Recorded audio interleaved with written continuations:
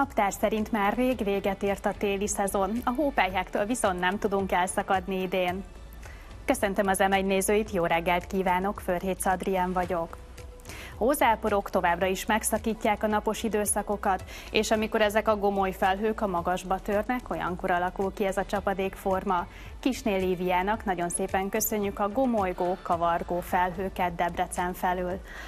Továbbra is várjuk kedves nézőink fotóit, e-mail címünk változatlan, meteorfotókukat mtva.hu.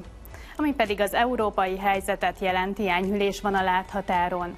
Pénteken már délnyugatira vált az áramlás, ezzel érkeznek hozzánk a szárazabb és enyhébb léghullámok. Így nagyrészt az évszakos átlagnak megfelelő hőmérsékletre számíthatunk majd a soron következő hétvégén. Addig viszont marad a csípős idő. A Kárpát-medencében nyugatról kelet felé halad egy markáns, jól kirajzolódó felhősáv. Ennek útját záporok, hó és jégdara záporok övezik majd, illetve az északkeleti megyékben és a Tiszántúlon még zivatarok is kipattanhatnak. Zivatarok környezetében viharossá válhat a légmozgás, de egyébként is feltámad az északnyugati szél, így jóval hidegebbnek érezhetjük ma a levegőt. A csúcsértékek kora délután 7 és 13 fok között mozognak. A Kárpát-medence nyugati és déli felén tapasztalhatunk majd magasabb értékeket. Holnap már déliesre vált az áramlás, és ezzel együtt a maximumok is kúsznak, araszolnak felfelé.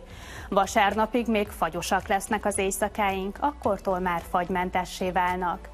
A hétvégén napközben gomoly és fátyol felhők zavarhatják a napsütést, de ezekből számottevő csapadék nem várható.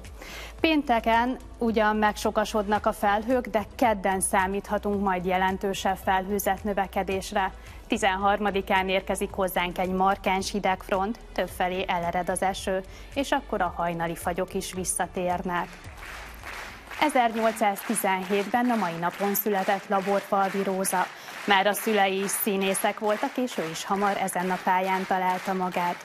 Egyre komolyabb szerepeket kapott, életében pedig kiemelkedő pillanat, hogy 1848. március 15-én ő tűzte Jókai Mormálkasára a kokárdát, fél évvel később pedig már a felesége is volt. Balatonfüreden töltöttek gyönyörű szép éveket. Köszönöm a figyelmüket, szép napot kívánok!